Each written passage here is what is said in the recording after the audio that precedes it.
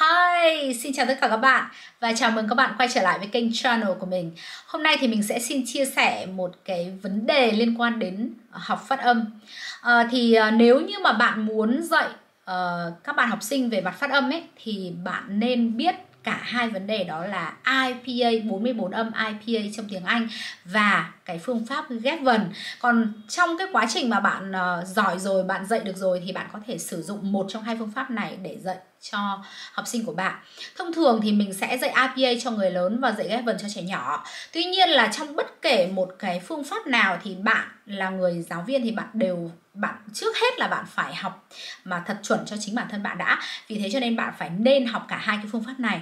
Thì ờ, mình ờ, giới thiệu về 44 âm IPA đây, các bạn có thể nhìn thấy 44 âm IPA ở đây. Và mình cũng đã giới thiệu với các bạn trong một cái video trước Đó là à, với người Việt ấy Thì chúng ta sẽ phải chú trọng vào cái âm mà có cái màu vàng ở đây. Đó là âm unvoiced sound. Tức là âm uh, vô thanh tại vì trong tiếng Việt thì không có âm vô thanh. Tất nhiên là âm hữu thanh trong tiếng Việt đấy nó cũng rất là khác âm hữu thanh trong tiếng Anh các bạn nhé. Và để làm được cái điều đấy thì các bạn nên um, học rất là kỹ 44 âm IPA này và mình cũng xin giới thiệu một cái trang web uh, một cái kênh channel mà mình rất là hay sử dụng để mình học uh, cái các cái ờ, cái cái phần phát âm hoặc là mình cũng lấy đó để mình dạy đặc biệt là cho người lớn ấy đó là kênh South American South American. Đấy bạn cứ gõ như thế vào vào vào Google vào YouTube là các bạn có thể tìm thấy cái kênh đó. Và ở đây thì mình đang có cái um, cái bộ uh, phonics uh, Oxford Phonics Word uh, đó. Thì cái bộ này á thì nó sẽ dạy về phát âm. Uh, tuy nhiên là cái uh, bộ này thì uh, họ không dạy về IPA mà họ sẽ dạy về ghép vần. Ví dụ như là âm này là âm u ghép với âm g thì sẽ là u g u g chẳng hạn như thế. Hoặc là đây là u n un uh, n sơn chẳng hạn như vậy. Hoặc là jerk jerk chẳng hạn như thế. Đây là cái quyển số 1 thôi còn đến sang cái quyển số 2 à, ờ, thì chúng ta sẽ có những cái âm giống nhau ở đây ạ. Ví dụ như là họ sẽ cho cái âm này là âm à, từ a sang e nhé các bạn á thì đọc là ai ai nhỉ I, ak, uh, ak, um, eight. Hoặc là eight. Hoặc là av. Đấy kiểu như thế. À, thì họ sẽ cho những cái âm mà giống nhau nhưng mà viết khác nhau nhé à, ờ, phát âm thì giống nhau nhưng mà viết thì khác nhau. Tuy nhiên ấy là các bạn sẽ phải nắm rất là rõ về các cái âm này à, khi mà các bạn học trước đã. Nếu không nắm rõ cái âm này mà các bạn vào các bạn dạy phonics ấy, là các bạn sẽ làm cho học sinh của bạn bị uh, confused tức là bị bối rối và gặp khó khăn trong quá trình mà mà các bạn ấy bắt trước. Bởi vì trong cái trong cái phương pháp đánh vần ấy là các bạn ấy bắt buộc phải bắt trước cô giáo. Phải bắt trước cô giáo. Ví dụ như là cô giáo uh, cô giáo um, phát âm là u thì các bạn sẽ phát âm là u. Còn nếu mà các uh, cô giáo phát âm là u thì các bạn sẽ phát âm là u nhưng mà trong cái phương pháp ghép vần đó, thì người ta sẽ không cho mình biết thực sự cái bản chất của cái âm đấy là âm như thế nào. Tuy nhiên là trong cái bảng IPA thì người ta sẽ nói cho mình biết bản chất cái âm đó như thế nào và nên phát âm nó ra sao. Thế còn đối với phương pháp ghép vần thì là họ dựa trên các cái chữ, các cái chữ ví dụ như này nhá. Ví dụ như là ba ba cái um, ba cái âm này ạ. Đây, ví dụ ba cái âm này. Đều đọc là ai cả? Đều đọc là ai cả? Đó viết là IGH thì cũng đọc là ai mà viết là IE thì cũng đọc là ai và viết là Y thì cũng đọc là ai. Và ở đây thì có một số cái ví dụ như thế này. Đó một số cái ví dụ như là pi hay là uh, uh, gì là right đó kiểu như thế. Đó thì uh, thì ở đây á thì người ta sẽ cho mình biết rằng là à cùng cách viết như thế nhưng mà đọc giống nhau. Vậy thì đọc cái âm ai này như thế nào thì ở đây á thì các bạn thấy rằng đây là viết nhá viết là âm ai này. Mình viết là âm ai ok viết là âm ai. Nhưng mà chúng ta đọc là âm này này. Là cái âm này. Đó. Là các bạn có thể nhìn thấy cái âm ai ở đây. Đó âm ai đâu nhỉ đây đây các bạn có thể nhìn thấy cái âm ai ở đây. Đó chính là đọc cái âm này.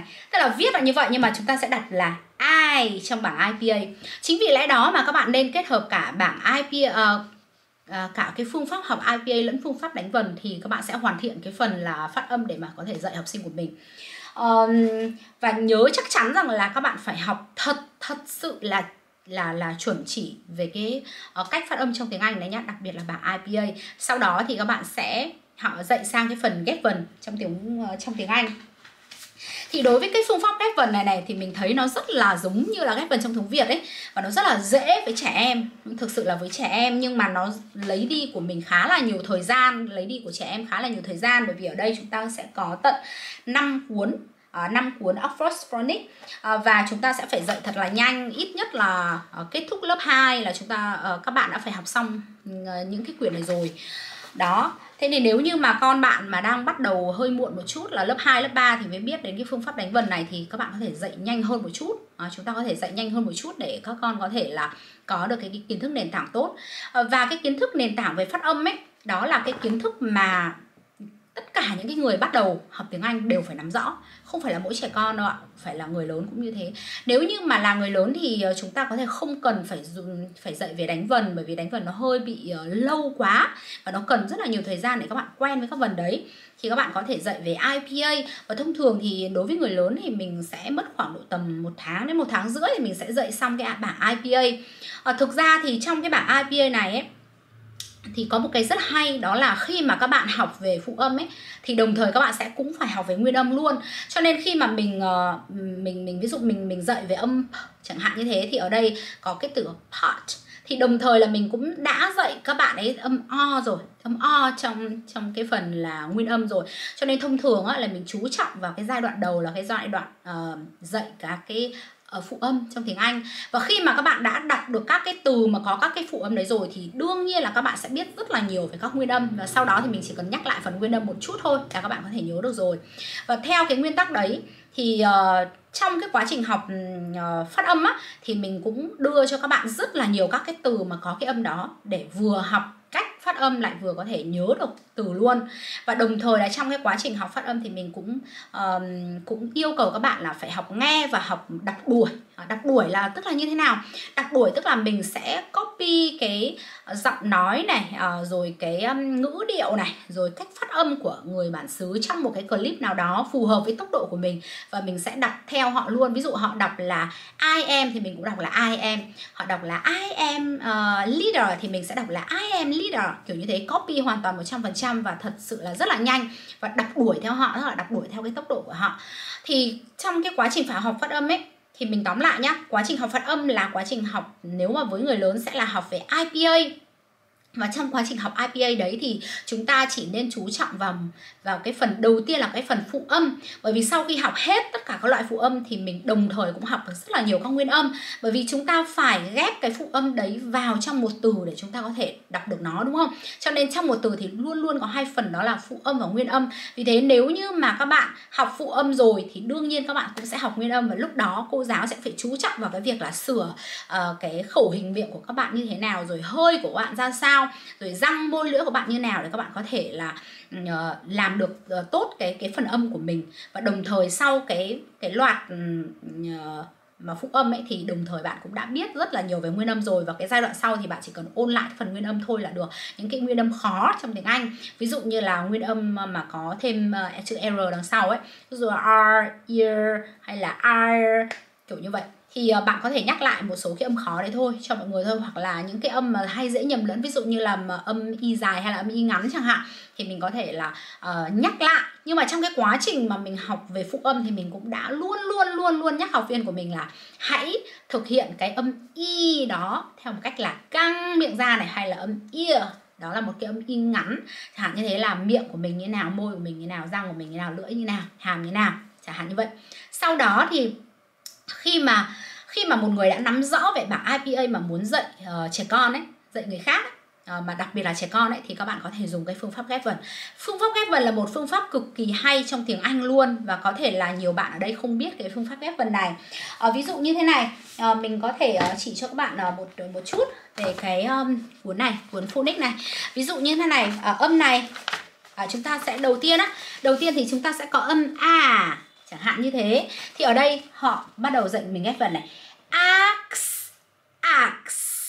Đó, chẳng hạn như thế. Hoặc là ant ant. Cơ at at cơ at cat. Hoặc là ak ak yơ ak, yak.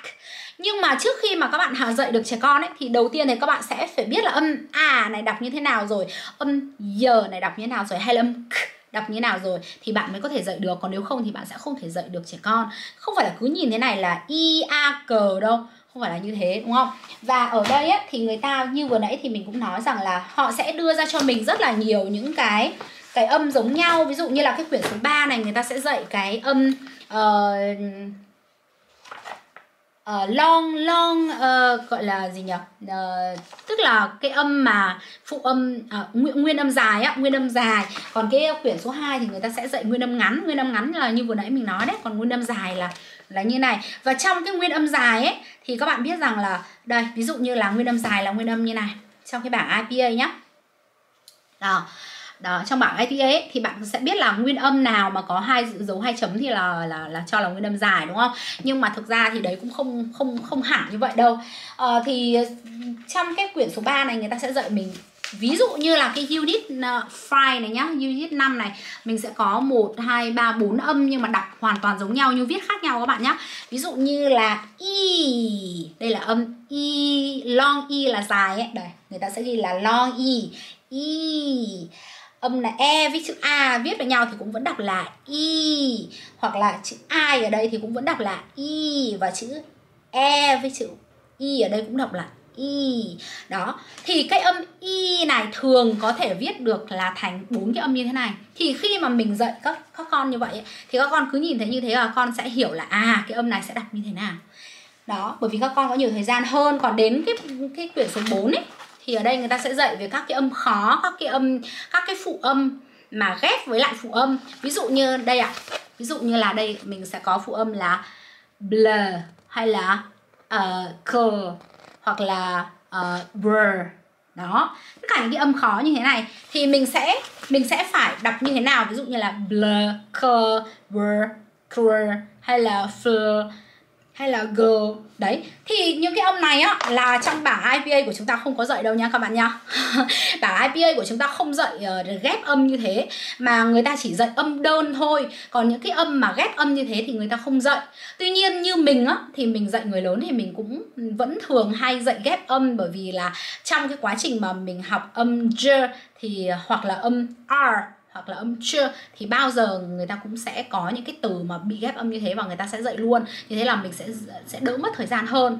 Đối với người lớn mà học IPA với mình ấy, thì chỉ mất khoảng độ tầm ờ, một tháng đến 2 tháng là hoàn thiện cái phần tất cả cái phần âm. Còn đối với trẻ em thì chắc chắn là phải mất nhiều thời gian hơn rất là nhiều rồi bởi vì cái tốc độ ờ, hấp thu của trẻ em nó nó kém hơn người lớn độ nhớ nó kém hơn người lớn.